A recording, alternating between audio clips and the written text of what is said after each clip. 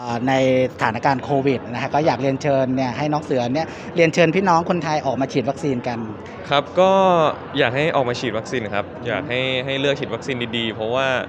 เอ่อช่วงนี้เป็นช่วงอันตรายใช่ไหมครับอยากให้ทุกคนแบบปลอดภัยฉีดวัคซีนให้ให้ให้เรียบร้อยอะครับอืมครับค่ะแล้วก็บุคลากรทางการแพทย์ที่ได้สละเวลาของตัวเองตัวนี้นะอยากให้กำลังใจครับ ก็โอ้โหขอบคุณมากๆเลยครับขอบขอบขอบขอบคุณมากจริงๆเพราะว่าแบบ เรื่องนี้เป็นเรื่องที่ยุ่งยากมากกับทุกคนเลย แล้วก็